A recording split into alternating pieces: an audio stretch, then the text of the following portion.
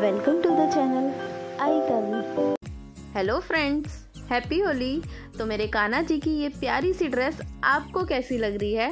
तो चलिए फ्रेंड्स आज की वीडियो में हम यही प्यारी सी पोशाक बनाने वाले हैं और वीडियो को शुरू करते हैं। लेकिन अगर अभी तक भी आपने चैनल को सब्सक्राइब नहीं किया है तो अभी जाएँ चैनल को सब्सक्राइब करें। तो चलिए फ्रेंड्स वीडियो को शुरू करते हैं। ये मैंने एक बेस कट कर लिया है और इस बेस की जो मैंने चौड़ाई ली है, वो 11 इंच ली है और जो इसके अंदर का सर्कल लिया है, वो दो इंच लिया है। और इसको हम एक वाइट कलर के कपड़े से कवर कर देंगे दोनों साइड से। ये पोशाक पाँच नंबर छः नंबर, सात नंबर काना जी को आराम से फिट आएगी।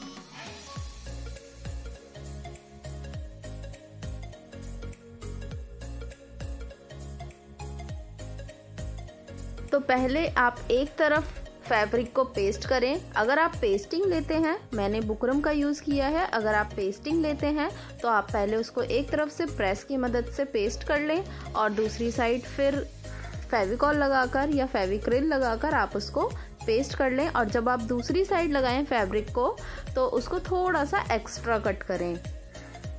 लगभग एक इंच एक्स्ट्रा कट कर लें उसको।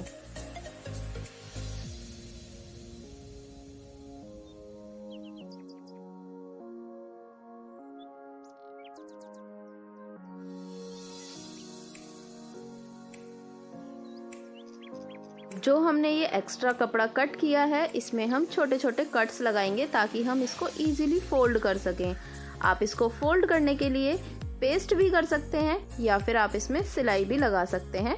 ये आपकी चॉइस के ऊपर डिपेंड करता है। मैं इसमें सिलाई लगाने वाली हूँ। तो मैं इसमें सिलाई लगा लेती हूँ, उसके बाद आपको दिखाती हूँ। तो ये देखिए, मैंने इसको एक सिलाई की मदद से फोल्ड कर लिया है। और अब इसमें सेंटर में हम एक कट लगाएँगे। और जो ये बीच वाला कपड़ा है, इसको भी हम निकाल देंगे कट लगाने के बाद।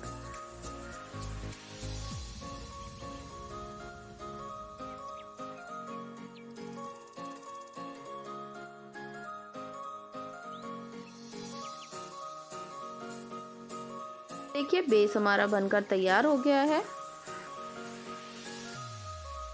तो अभी मैंने ये दो पट्टियाँ ली हैं, जिनकी चौड़ाई लगभग साढ़े पाँच इंच है, और लंबाई आप अपने अकॉर्डिंग रख सकते हैं।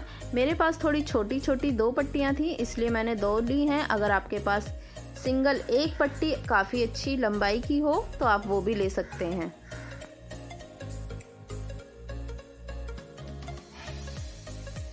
पट्टी की लंबाई लगभग 50 इंच या फिर 45 इंच या 60 inch as per your choice हो सकती है। तो अब इसको मैंने जॉइंट कर लिया है।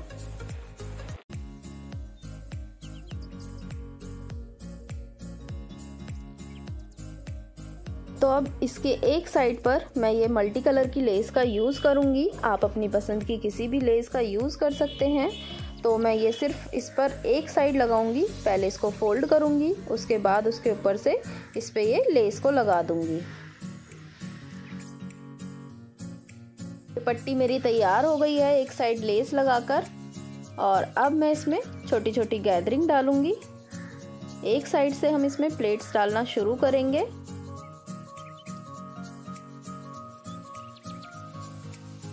और कमर के अकॉर्डिंग हम इसमें प्लेट्स को डालकर तैयार कर लेंगे। देखिए, मैंने प्लेट्स बनाकर घेरा तैयार कर लिया है और इस पर मैंने हल्की सी प्रेस भी की है ताकि ये प्लेट्स अच्छे से सेट हो जाएँ। और अब हम इसको बेस के ऊपर लगा देंगे।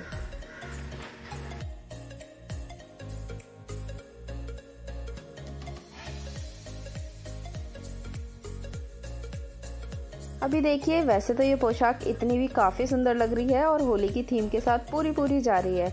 लेकिन अगर आपके पास मल्टी कलर के कुछ कपड़ों के पीसीस पड़े हों तो वो भी काफ़ी हैं हमारी ड्रेस को पूरा करने के लिए और एक नया लुक देने के लिए। तो ये मैंने काफ़ी सारी कलर के छोटे छोटे कपड़ों को लिया है और इसका हम यूज़ करेंगे वाटर ड्रॉप की तरह, जैसे कपड़ों पर कलर गिर जाता है और वो एकदम से स्प्लैश हो जाता है, उस तरह की शेप्स हम कुछ बुकरम की कट करेंगे और उन पर ये कपड़ों को पेस्ट करेंगे।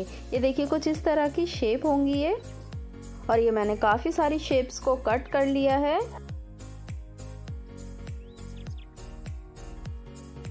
मैं लगभग सभी कलर्स के दो दो ड्रॉप्स बनाऊँगी।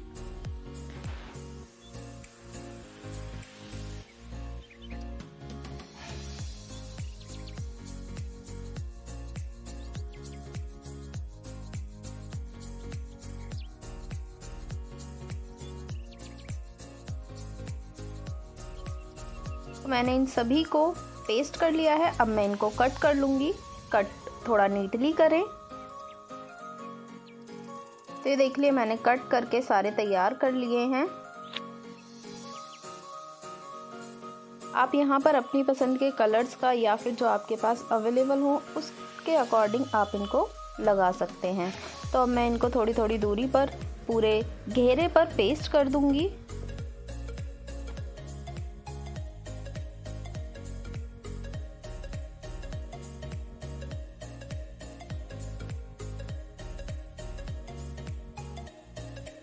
देखिए, लग रही है ना ये ड्रेस बिल्कुल जैसे अभी कान्हा जी होली खेल कर आए हों। और इसका लुक बहुत ही सुंदर लग रहा है। और अभी हम इसके जो ये हमने डॉट्स बनाए हैं, इसको थोड़ा सा और सुंदर दिखाने के लिए ये स्टोन्स का यूज़ कर रहे हैं। आप यहाँ पर मोतियों का या फिर मिरर्स का कट मिरर्स जो होते हैं, उनका भी यूज़ कर सकते हैं। आप यहाँ पर कुछ और चीज़ बटन्स का भी यूज़ कर सकते हैं। जैसा आप इसको सजाना चाहें, वैसा सजा सकते हैं।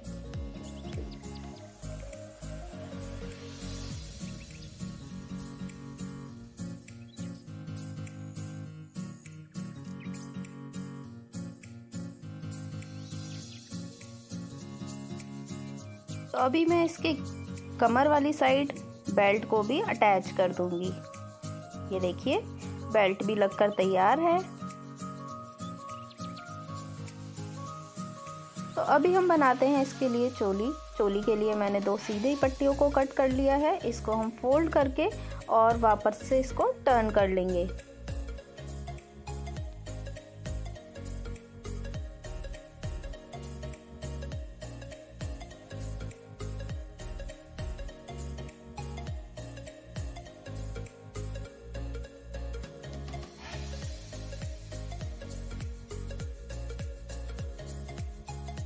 तो ये देखिए, दोनों पट्टियाँ मैंने फोल्ड करके तैयार कर ली हैं। अब हम लगाएँगे इस पर ये सेम लेस को। एक साइड इधर और दूसरी वाली साइड इधर। तो इस तरह से लेस लगाकर आप भी पट्टियों को तैयार कर लें और उसके बाद एक के ऊपर एक रखकर हम नीचे वाली साइड जहाँ पर जॉइंट है, यहाँ पर इसमें सिलाई लगा देंगे और ये देखिए, इस तरह से ये बनकर तैयार हो जाएगी।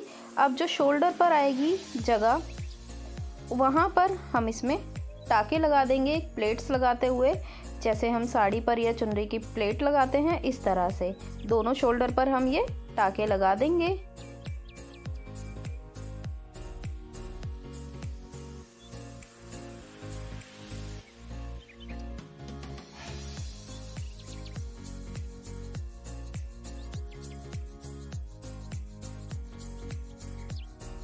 हमारी ये चोली बनकर तैयार है। आप चाहें तो इसी में डोरी को बनाकर नीचे वाली साइड डोरी लगा सकते हैं और उसको सेपरेट पहना सकते हैं, या फिर आप इसको घेरे पर अटैच करें। अटैच करने के लिए सेंटर में जो हमने कट किया था, उसके सामने इसको रखें और टाँके लगा दें। आप यहाँ पर सिलाई से भी टाँके लगा सकते हैं और सुई धागे की मदद से भी।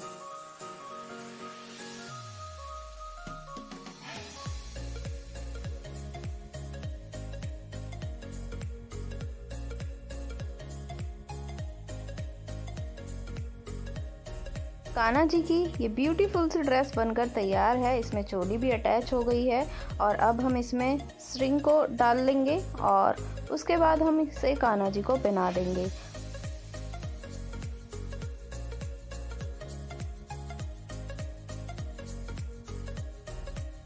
फ्रेंड्स मैं इसमें इस तरह की स्ट्रिंग को डाल रही हूँ। आप चाहें तो यहाँ पर इलास्टिक को भी डाल सकते हैं।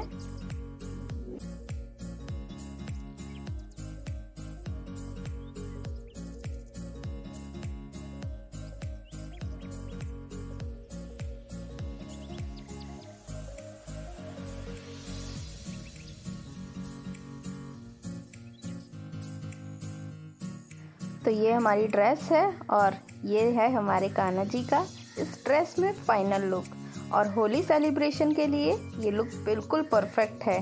तो आप भी इसी तरह की ड्रेस को बना सकते हैं. ये कलर्स की ट्रे भी मैंने ही बनाई थी और इसकी वीडियो मैं अपलोड कर चुकी हूँ, आप वो भी देख सकते हैं. साथ ही मैंने ये बाल्टी और पिचकारी भी डेकोरेट की थी, आप इसकी भी वीडियो देख सकते हैं. तो फ्रेंड्स ये है मेरे कान्हा जी का होली का फाइनल लुक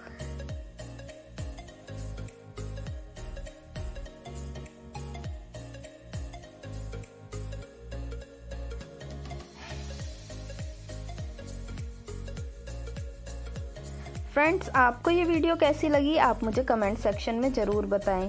साथ ही वीडियो को भी लाइक कर दें। और आप मुझे ये ज़रूर बताएँ कि आपने अपने कान्हा जी को किस तरह से होली के लिए तैयार किया है। आप वो भी मेरे साथ शेयर कर सकते हैं।